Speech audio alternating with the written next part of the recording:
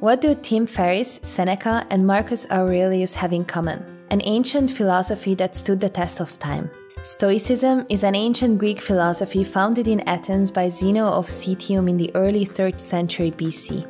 Today, Stoicism is a tool that we can use to overcome difficulties and adversity, to become less emotionally reactive, and to better resolve conflicts. I believe that Stoicism is more relevant than ever because of the highly stressful environment and information overload we are confronted with today. And if we don't learn how to cope with stress, anxiety, and things that affect our everyday lives, we're set out for disaster. My name is Sophie, and in this video, I will teach you how to use ancient Stoic practices in our modern days to reduce stress and to become more mindful. I discovered this philosophy two years ago and it helped me a lot when I was facing setbacks in my own life. I believe it can help you too. The first exercise will help you practice gratitude and to learn to appreciate the things that you already have in your life. This is voluntary discomfort. Seneca was Nero's advisor who enjoyed great wealth. Still, he suggested to set aside a certain number of days each month to practice poverty. While doing this, he advises you to ask yourself the question Is this what I used to fear? There are several ways to go about this. Voluntary discomfort means that you take away something from your environment to make it a little bit harder for you to operate in your day to day life. This can be taking a cold shower, fasting, or not using electricity for a day, or turning off the internet for a week. You can also wear your worst clothes, get away from the comfort of your home or bed, and sleep on the floor. In our case, we sold our couch in our studio apartment because we wanted to downsize to have more space. However, the new couch will only arrive in two weeks, which means that we have to find other ways to relax or sit on the floor. What this exercise does to you is that it keeps you grounded, making you appreciate all the little things that you have. And the more you practice discomfort deliberately, the more resilient you will be when unplanned discomfort occurs. So let me ask you this How many times do you actually feel grateful for the things that you have? Tim Ferriss famously practices Stoicism by doing a three day fast every month to remain grounded and not to take everything in his life for granted. Try to do a similar exercise at home that you feel comfortable with and let me know down in the comments below how it went. The second Stoic practice is called negative visualization. Close your eyes and imagine this. What would it feel like if you lost your job today? or all your possessions in a fire? How would you feel if you lost a loved one today? What would you do if you just realized that you're paralyzed and won't be able to move anymore? One thing that we all have in common is that we all face challenges. You might have already experienced some of the things that I just mentioned. But even if you did, it could always get worse. You lost a parent? What if you lost your entire family? And so on. This exercise does two things.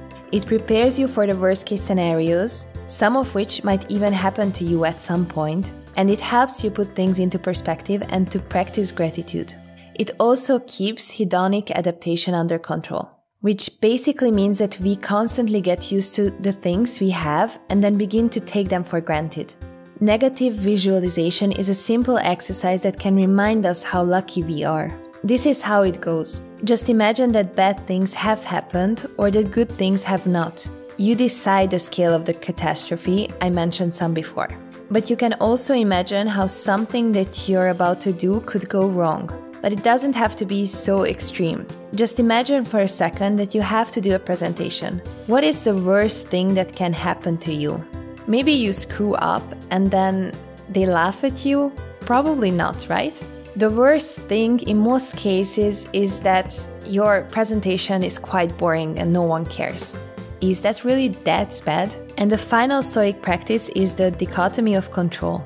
Stoicism teaches you that the only thing you can control are your thoughts and your actions. Everything else is outside of your control, or as Epictetus calls it, our reasoned choice. Therefore, whatever is outside of your control is not worth the energy you spend on worrying about it. This is a highly debated concept, and my explanation might be oversimplified, but let me give you an example to illustrate this point. You are in the waiting room of the doctor's office, and even though you made an appointment, you still have to wait a long time to see the doctor. So, what do you do? You pick a fight with the receptionist who has done absolutely nothing wrong to deserve this. You sit there uncomfortably, spending a very long time in your own negative thoughts about how badly you've been treated. Or check social media to distract yourself, which, by the way, might even have a worse effect on you, as everyone else seems to have a grand old time while you are sitting at the doctor's office doing nothing. But having to wait is outside of your control. There's nothing you can do to speed up the process. So, what is in your control? Your attitude. How about you take a deep breath and appreciate that you only have a cold instead of having a fatal disease? How about you see the waiting time as an opportunity to just observe your environment or catch up on reading what you otherwise don't have time for? When something happens in your life, consider whether it is under your control or not. If it is, then assess the situation and act on it. But if not, and it is something that has already happened or is currently happening, accept that it is outside of your control and move on. This exercise helps you not to get triggered and not to act on impulse. Hey guys, I hope you enjoyed today's video about Stoicism. As you can see, we're still waiting for our new couch, so we're gonna have to practice voluntary discomfort a bit longer. If you like this topic and you would like to read more about Stoicism, I have a couple of books that I could recommend. Just scroll down to the description and you will find all the links. And if you would like to see more videos in the future, don't forget to subscribe and see you next time. Bye!